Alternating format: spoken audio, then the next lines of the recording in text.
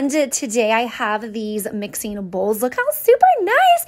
They nestle like into each other, like stack really, really nice. So it saves on space. But there's seven of them. You have the range that is 0.7 a quart all the way to 4.5 a quart.